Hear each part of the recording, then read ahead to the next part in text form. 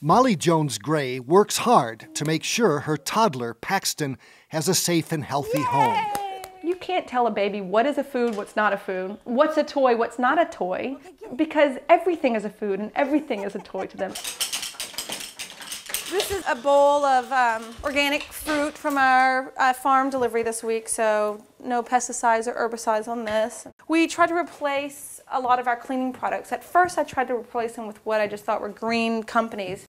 This Seattle mother and her husband, Zach, are keenly aware of what's in the food, toys, and cleaning products in their home.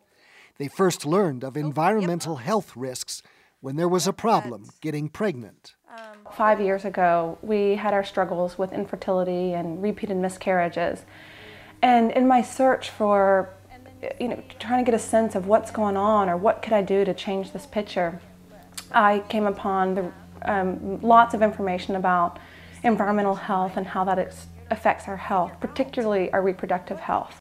While pregnant, she took part in a study that examined some of the chemicals women and fetuses are exposed to.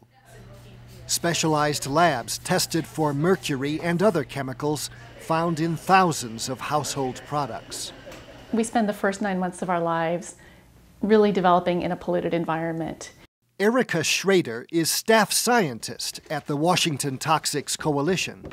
The women that we tested had between 11 and 14 of these toxic chemicals in their bodies.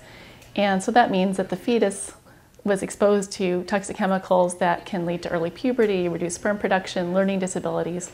My mercury levels were higher than all the women tested. The results were incredibly um, disheartening.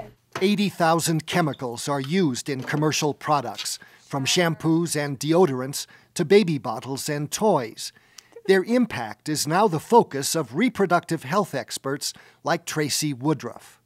Pregnant women are exposed now to many different types of chemicals, and can those things be increasing the rates of difficulty in getting pregnant, adverse birth outcomes, childhood conditions? So we see uh, certain childhood cancers have gone up.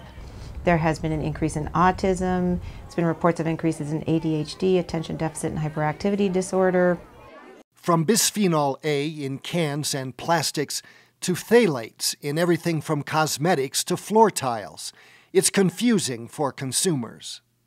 Sodium hydroxymethylglycinate. Many parents are shocked to learn that the federal government has not updated chemical regulations in 35 years. Now, several states and some major retailers are demanding more evidence of the safety of consumer products and an overhaul of chemical policies. For Assignment Earth, I'm Gary Stryker.